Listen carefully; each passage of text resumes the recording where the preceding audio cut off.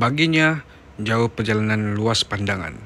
Walaupun beliau sudah merasakan tentang azab dan sengsaranya ketika menempuhi perjalanan ke Kuak dari Padang Sanai dahulu, namun perjalanan namun perjalanan beliau kini bertekad untuk ke Menam pula. Pertemuannya dengan Tok Cho di Kuak semakin membakar semangatnya untuk meneruskan perjalanan ke Menam. Empat hari empat malam berjalan kaki barulah sampai ke Menam. Untuk selama empat hari di Menam, Mior Abdul Rahman telah menjadi anak angkat kepada keluarga Tok Cho dan menginap di rumah Tok Mek Ja. Dinding rumah penduduk Menam termasuk dinding rumah Tok Mek Ja diperbuat daripada kulit-kulit binatang. Sewaktu di Menam, Mior Abdul Rahman bersama-sama dengan Bakar sering menghabiskan masa mereka dengan keluar memikat burung serindit kerana harganya ketika itu sangat mahal. Seekor burung serindit boleh mencapai harga hingga di antara 3 dolar hingga 5 dolar seekor. Setelah empat hari di Menam, Mior Abdul Rahman meminta diri untuk pulang ke Kuala Nerang untuk menemui abang iparnya Zainal. Selepas beberapa hari di Kuala Nerang, Mior mengambil keputusan untuk pulang ke Taiping bagi menemui keluarganya. Beliau telah menceritakan segala pengalamannya yang dilalui beliau kepada kekanannya Mior Abdul Aziz Mior Abdul Aziz juga tertarik untuk ke sana. Tanpa pengetahuan sesiapa termasuk abang iparnya Zainal Abidin di Kuala Nerang, Mior dan abangnya Mior Abdul Aziz telah pergi ke Menan. Kedatangan mereka ke Menan semula telah mengejutkan Tok Cho dan Tok Mek Ja. Di Menan mereka menghabiskan kebanyakan masa dengan keluar memburu-buru binatang. Mior Abdul Rahman pernah bertanyakan kepada Tok Mek Ja berkenaan sebuah bukit yang terletak di dalam hutan Menam. Menurut Tok Mek Ja, tempat tersebut bernama Lam Go. Mior bertanyakan Tok Mek Ja sama ada beliau boleh pergi ke kawasan tersebut ataupun tidak. Menurut Tok Mek Ja, kawasan bukit itu agak keras dan Tok Mek Ja berkeberatan untuk melepaskan Mior. Kamu tidak boleh pergi ke sana. Di situ tempat kawalan pendekar. Kalau nak pergi juga aku tak boleh hantar. Jelas Tok Meja. Bersuah hang tua di batu hitam. Ketika keluar berburu bersama-sama dengan enam orang rakannya di dalam hutan belantara di Menam, dia sepadan antara Siam dan Tanah Melayu. Sekonyong-konyong dengan takdir Tuhan hujan ribut telah turun disertai dengan kilat petir sambung menyambung. Serentak dengan itu kawan-kawan beliau yang seramai enam orang tadi telah terpisah dengannya dan tidak kelihatan lagi. Keadaan itu berlaku hingga hampir ke tengah hari. Setelah keadaan pulih seperti sedia kala, Mior menyedari bahawa dirinya tinggal bersendirian sahaja di hutan belantara itu. Beliau telah meneruskan perjalanannya dengan merayau-rayau tanpa mengetahui arah yang hendak dituju sehinggalah ke petang hari dalam keadaan diri yang sangat letih serta kebingungan.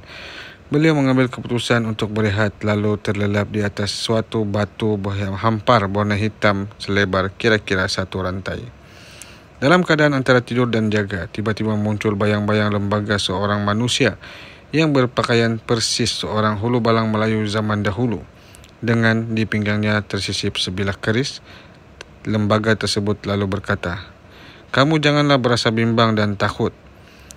Kamu akan kami penuhkan lagi diri kamu dengan ilmu-ilmu pertahanan dalam ilmu kepahlawanan. Dalam keadaan diri antara sedar ataupun tidak, Mior pun diajar dengan berbagai ilmu kependekaran zahir dan batin. Hang Tua telah mencurahkan segala rahsia ilmu silat seni gayung dan mempertahan diri kepada beliau. Semasa beliau melalui pelbagai ujian dan cubaan, beliau telah dibawa ke sebatang anak sungai yang berdekatan dengan dan dimandikan dengan tujuan menghatamkannya. Di sanalah Mior diamanahkan supaya ilmu yang telah dipelajarinya iaitu seni gayung diperkembangkan dengan seluas-luasnya di dalam negara ini dengan mengikut adat istiadatnya yang tertentu. Pada saat-saat itu juga lembaga itu memperkenalkan dirinya dengan mengatakan bahawa beliau ialah Datuk Laksamana Hang Tua. Akulah Laksamana Hang Tua, hulu balang Raja Melaka. Aku berhalawat Di sini aku penjaga di sini. Hang tua akhirnya meminta Mior Mior menganggarkan mulut lalu diludahkannya ke dalam mulut Mior sebagai tanda sempurnalah sebuah penghatapan beliau. Hang tua juga mendakwa bahaya bahawa Mior Abdul Rahman adalah seorang yang paling gagah dan tiada orang lain yang dapat menewaskannya selagi ia patuh kepada pantang larang tertentu.